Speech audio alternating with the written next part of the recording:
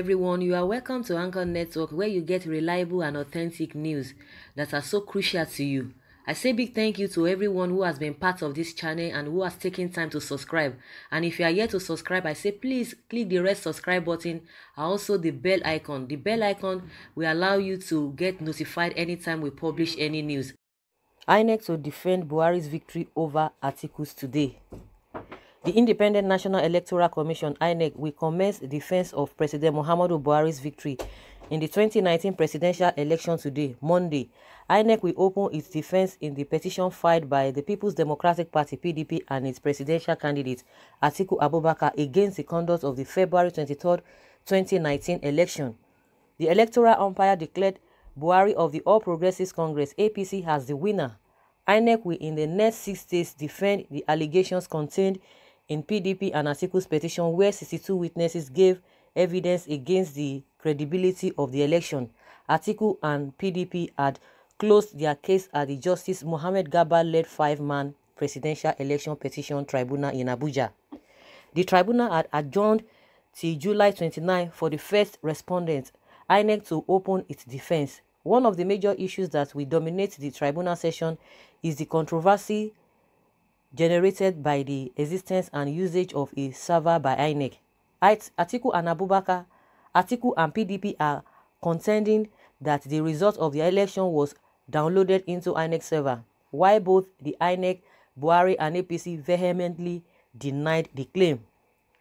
So guys, um, we're going to be hearing what is going to be happening, how INEC is going to really come in their own defense, defending what and uh, how they have pronounced uh, Buhari winner and, you know, uh, trying to compare it with the result in uh, Atiku and uh, PDP talking about on how where they received the whole thing. I think they are uh, like now Atiku and uh, PDP they really closed their case that everything that they really have to present you know as as evidence you know before the court they have already done that and they've closed uh, the whole thing. That means they're not going to be bringing any evidence or whatever. So it is now for uh, Atiku. It is now for INEC to come and defend you know what has been said by PDP and Atiku and also to defend their claim that Buhari really won. And a lot, a lot of people are really waiting for that. A lot of people have been praying.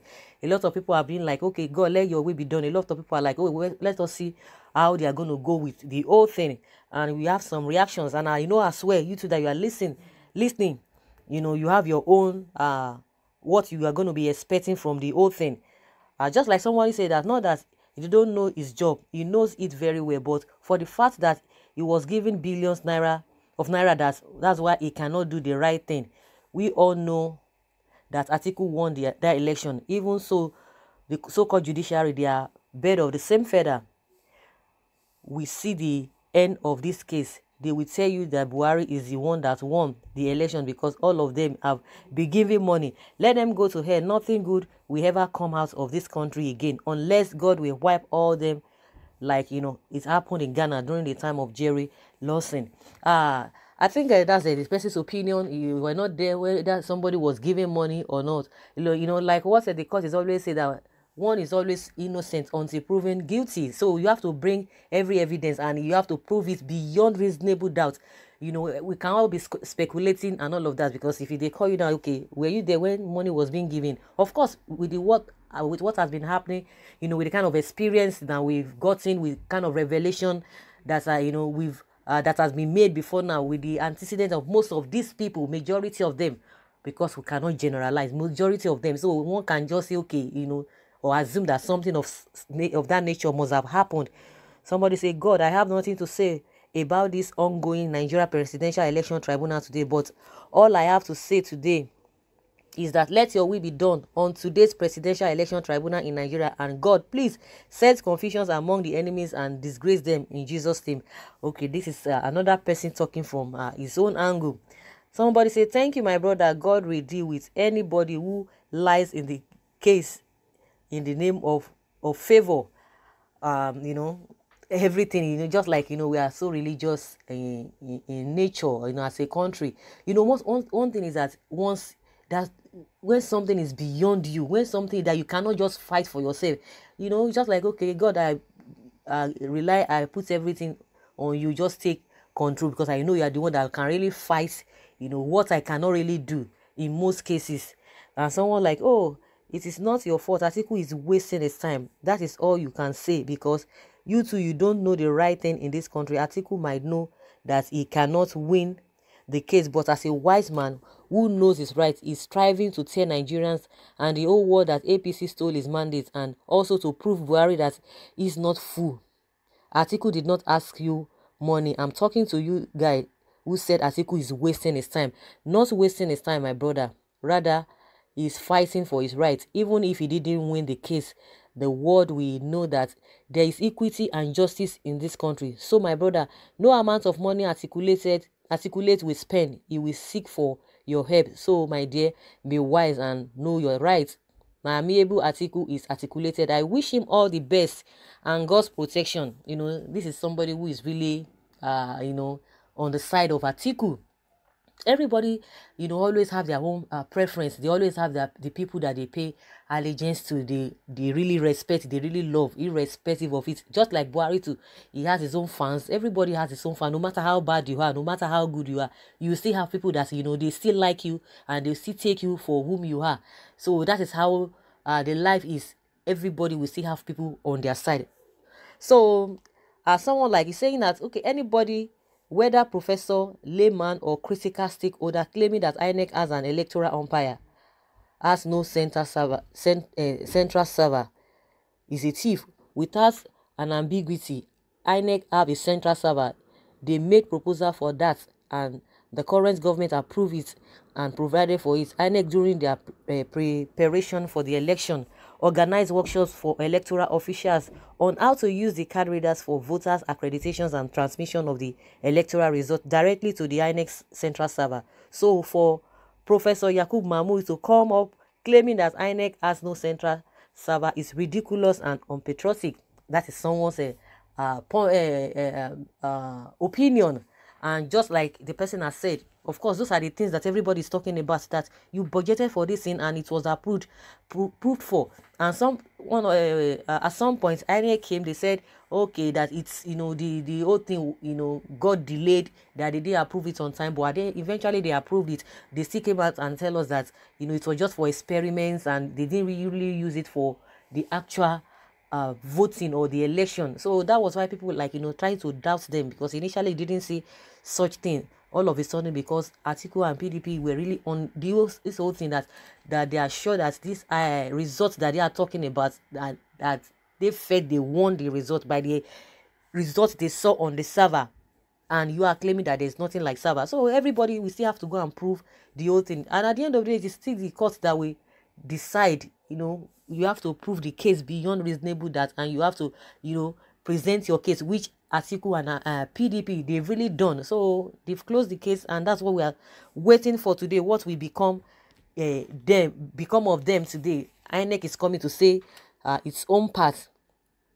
Someone say Atiku Lulu is just wasting his time and money. Buhari has won, and he has won till 2023. That is the, another person's opinion you can't say it because like what people have been saying that they should not just rejoice. Anything can happen. You, just, you just believe that okay the people in power you know or the president uh, administration that they all they have all the power all it takes you know to be able to guide themselves. Because when it comes to judiciary they are really people believe that they are the one in charge because they have put themselves you know in those positions and at the end of the day, the team are really come in their favor. We've seen a lot of cases. You know, Oshiomhole is a is a is a living witness. Is an example. Even when uh, Osunbor was declared winner, and he was there for a year or so, but at the end of the day, at the end of the day, um, Oshiomhole came up and you know he fought the oath. Everybody was like, this guy, you know, was wasting his time, and that was one of the first time if, if it was not the first time that you could see that a sitting governor was removed and you know another person was put in after the case eh, the judgment because Oshiomhole was able to bring all the evidences you know according to what the court saw. He brought all the evidences you know that really worked against PDP then and he won the case after and he became the governor and he was sworn in Osunbor was out of it. Professor Osunbor he was the governor then. So at the end of the day you know and that was when it's you know everybody started having that confidence. A lot of governors will go and okay they want to get ju- judgment or justice because they felt that they were supposed to be in charge and other person other party was uh, being put there. And it gave encouragement to a lot of people, a lot of uh, governors then, a lot of people that were voted for and they were not declared winner. So anything can happen. So we, it's not cast in concrete. Like even when we are complaining about the situation of the country now, everybody just like, oh, there's no hope in this country. Everything is has gone, everything has gone down the drain. You know, people like, oh, continue hoping, continue to say it. There is nothing good that will come out of Nigeria. Still, we still things can still change and things will definitely change because nothing is permanent. People that think that they are enjoying the dividends of democracy now. Sorry guys i'm trying to digress but i'm just trying to like you know you know pinpoint on what this person has said that buhari has already won. It's, it doesn't work that way. Anything can change you know anything can change. Nothing is static. So people say oh nigeria cannot be better. It can be better like i said and like i believe in as much we have that consciousness everybody is not happy with what is happening but on how but how are we going to make things better? How are we going to make sure that the right people are, are there you know holding position? Because that consciousness is there. They will be surprised. People that think that enjoying the old thing people that think they are living in affluence you know at the detriment of others. The things that are supposed to be you know a collective uh, uh, uh, benefit for everybody, but just few they are the ones sharing the money among themselves, and majority of people are living in penury and they're so happy and they are playing games, they are playing politics. Oh, they will tell you there's no money, there's nothing, there's not this, there's that. Oh, Nigeria is poor, but these guys are living in in in in, in affluence, in wealth. And the people they say they are governing, the people they say they are presiding over, they are living in penury. So, what kind of work are you doing? I'm paying you you, and I'm suffering. I'm the one paying you and you are the one living in affluence and you say you are serving me. It's not it's not it's not, it's not making sense. Just like the way we we'll compare them with uh, other developed countries. The our country that is so poor, you know, when, uh, in terms of the masses, in terms of infra- infrastructural uh, uh, uh, uh, uh, uh, setting, in terms of economy, we are so poor. In terms of development, we are so poor. And yet our politicians are richer they are richer they are they are collecting allowances that are more you know greater 100% more than even the so-called developed countries.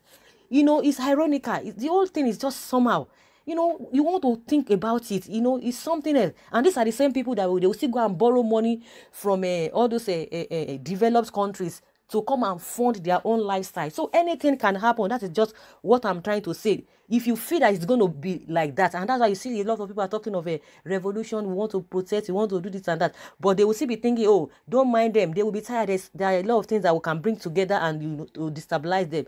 But what all we know and what we believe is that one day, one day, they will say monkey will go market and it will not come back. So nothing is static. Anything can happen. Whether you have been there for two years, if things want to change if like I, I always say we are so religious if god really wants to do what he wants to do everything will be clear so you wouldn't say oh because it has been and nothing can really change so i'm just trying to like you know uh, pinpoint what that person is talking about because Buhari is dead and nothing can change it. Anything can happen. They shouldn't be they shouldn't be too happy for long because it happened even with Oshiomhole. Oshiomhole can tell the story better even to the APC that they shouldn't take anything for granted. So, guys, that's just my own opinion. I would like to hear from you too. Put down your comments in the comment section. Let's rub minds together. Thank you very much. Bye.